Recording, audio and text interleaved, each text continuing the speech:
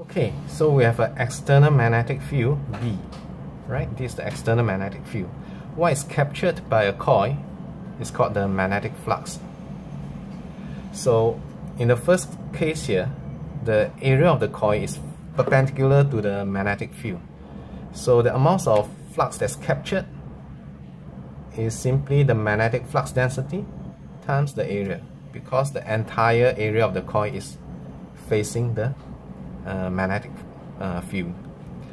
When this thing is rotated, then um, it's no longer facing the magnetic field. Uh, one way of understanding this is to realize that effectively we have only um, this area that's capturing the flux all right so it's having a such a big area coil uh, is going to allow you to capture just as much flux as if you have a smaller coil but uh, you have this coil facing the uh, magnetic field directly perpendicularly.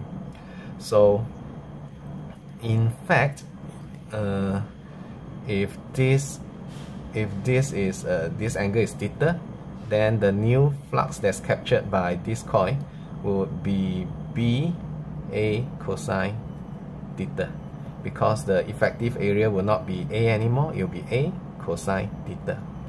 So the external magnetic field as stated in the question is constant, it's not going to change. But the amount of flux captured by the coil uh, has decreased simply because um, the effective area is much smaller actually.